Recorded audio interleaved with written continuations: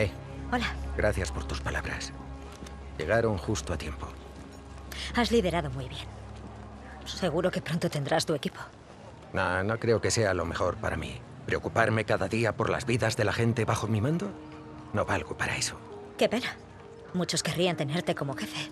Al menos yo. Gracias.